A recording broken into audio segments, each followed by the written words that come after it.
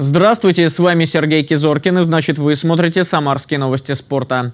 Анастасия Павлюченкова в двух шагах от золота открытого чемпионата США по теннису. Илья Фролов выиграл очередной международный турнир. Большой летний приз проскакал по Камышлинскому району.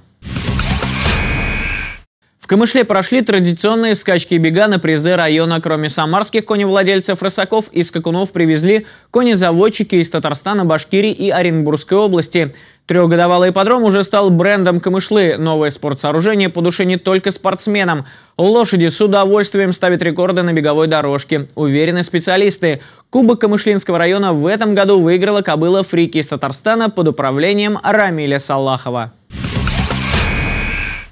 В Москве самарский пятиборец выиграл Кубок Минобороны. В рамках турнира проходила смешанная эстафета. За победу боролись 12 команд из 10 стран. Илья Фролов выступал в паре со столичной спортсменкой Екатериной Хураськиной и добился успеха. Как обычно, после фехтования тандем вырвался на первое место. В плавании он финишировал последним и опустился на восьмую позицию. А после конкура перед комбайном бег-стрельба уступал лидеру 18 секунд. Все решила финишная черта – по традиции Фролов вырвал победу, на этот раз у соперников из Германии. Кроме Кубка «Самарско-московский дуэт» получил 10 тысяч долларов призовых.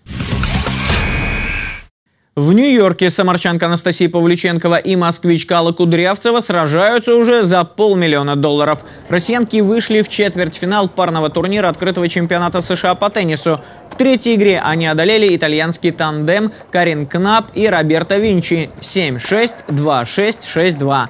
На пути к чемпионскому титулу их ждет австралийско-казахская пара Кэсси Деляква и Ярослава Шведова. Это были новости спорта от Сергея Кизоркина. Будьте здоровы и занимайтесь физкультурой.